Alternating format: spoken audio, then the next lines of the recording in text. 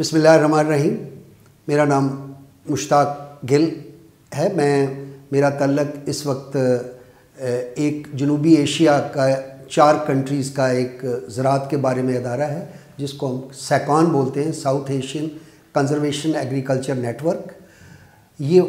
وہ ادارہ ہے کہ ان چار کنٹریز کے، جس میں بنگلہ دیش، نیپال، انڈیا، پاکستان کے سائنٹسٹ نے مل کے یہ ایک سروس شروع کی ہے کہ ہم جو کروڑوں فارمر ہیں، جو کاشتکار ہیں، ان کے ذریعے ہم پہنچیں یہ ماس میڈیا سے، الیکٹرانک میڈیا سے، سوشل میڈیا سے۔ تو یہ ہمارا ہے کہ ہم کم سے کم پانی سے، کم سے کم کھاد سے، کم انرجی سے یعنی ٹریکٹر سے، کم پیداواری لاگت سے اور کم سے کم ماحولیاتی آلودگی سے ہم زیادہ پیداوار لے سکیں۔ یہ ہمارا مشن ہے۔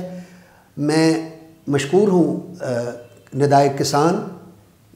یہ جو سروس شروع کی ہے، ان کی یہ جو ویب سروس ہے، اس کے لیے ہم اپنے اس ادارے کا، ہم دیکھنا یہ ہے کہ ہم پاکستان کے کوئی تقریباً ایک کروڑ کے لگ بھگ کاشتکار ہیں۔ اگر ہم ان کو لیں یعنی اسی پچاسی لاکھ کاشتکار ہیں، جن کو ہمیں آسان، سب سے آسان ذریعہ جو ہے، وہ یہ ہے کہ ہم اپنے اس سروس سوشل میڈیا کے ذریعے پہنچیں۔ ویسے تو ندائے کسان ہمارا رسالہ بھی باقاعدگی سے آتا ہے، لیکن میں اپنے پچاس سال کا یہ اس طرح اور سیکان کی جو ہماری ٹیم ہے، اس میں انجینئر بھی ہیں، اس میں ہمارے اگرانومسٹ بھی سائل سائنٹسٹ، اور یہ وہ ٹیم ہے، ہم یہ چاہتے ہیں کہ اس پروگرام کی وساطت سے ہم اگر کوئی زراعت کے بارے میں کوئی جدت، کوئی اس طرح کی ٹیکنالوجی ہے جو موجودہ حالات میں ہم کم وسائل سے زیادہ پیداوار لے سکیں، اس کے ذریعے آپ سے رابطہ رہے گا، اور انشاءاللہ ہم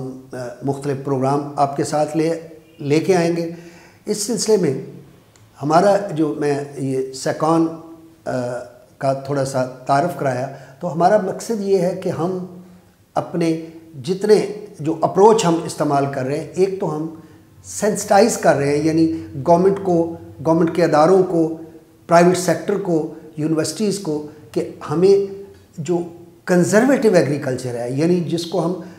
روایتی زراعت یا عام لفظ میں فرسودہ زراعت بھی ہو جاتا ہے اور روایتی زراعت سے نکل کے ہم جدید زراعت کی طرف جائیں۔ دنیا آج کل بات کر رہی ہے کہ ہم کم حل چلا کے کم سے کم حل چلائیں، کم سے کم زمین کو ڈسٹرب کریں اور زمین کو جو اس کا حق ہے آرگینک میٹر یعنی نامیاتی مادہ، وہ ریسٹور کریں اور اس کو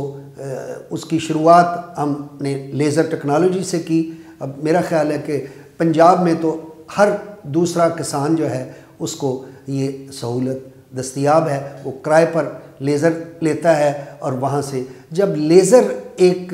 آپ کے ہر فارم پر، گاؤں کی سطح پر پہنچ چکا ہے، تو کیوں نہ دوسری ٹیکنالوجی جو ہے، وہ آپ تک آئیں تو ہمارا ادارہ اس طرح کے پروگرام جو ہے، وہ آپ کے پاس لے کے آتا رہے گا۔ اس میں لیزر ہو گیا،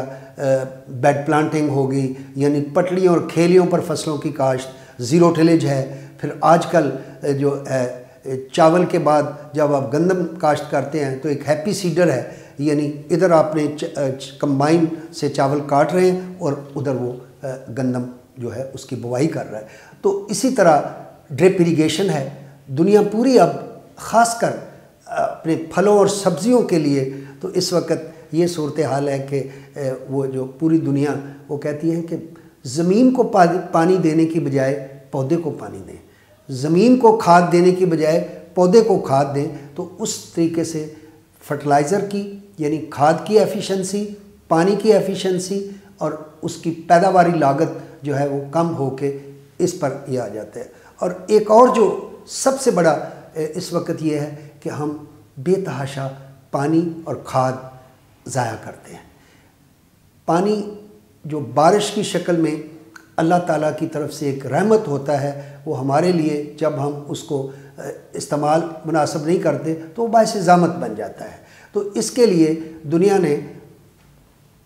رین واٹر ہارویسٹنگ یعنی بارش کے پانی کو کیپچر کر کے اور اس کو آپ پینے کے لیے، اپنی ڈومیسٹک یوز کے لیے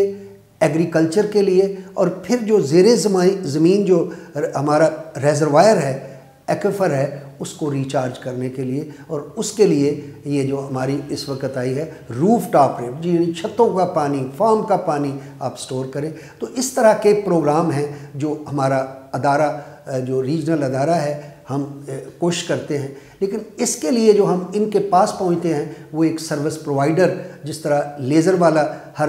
گاؤں کی سطح پر موجود ہے، اسی طرح بیڈ پلانٹنگ، زیرو ٹلیج زمین کی فورن ٹیسٹنگ کے لیے ڈرپ کے لیے، یہ جال ہے ایک سروس پرووائڈرز کا، جن کے ذریعے ہم پنجاب کے کو تقریباً پانچ چھ ملین فارمرز کو ہم اپروچ کر رہے ہیں۔ اور یہ جو چینل ہے، یہ جو مشن ندائے کسان نے شروع کیا ہے، ہم انشاءاللہ تعالی اس کے ذریعے آپ کے پروگرام کے ساتھ، آپ کے ساتھ آتے رہیں گے۔ اور ہمیں یہ دیکھنا ہوگا کہ ہم اپنے کم وسائل سے کس طرح بہتر پیداوار حاصل کر سکتے ہیں۔ بہت شکریہ جی۔